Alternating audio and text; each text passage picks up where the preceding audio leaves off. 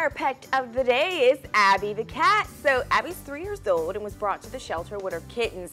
She absolutely loves to cuddle, so if you're ready to take in this mama and possibly a kitten or two, be sure to visit 12newsnow.com backslash Paws for adoption information.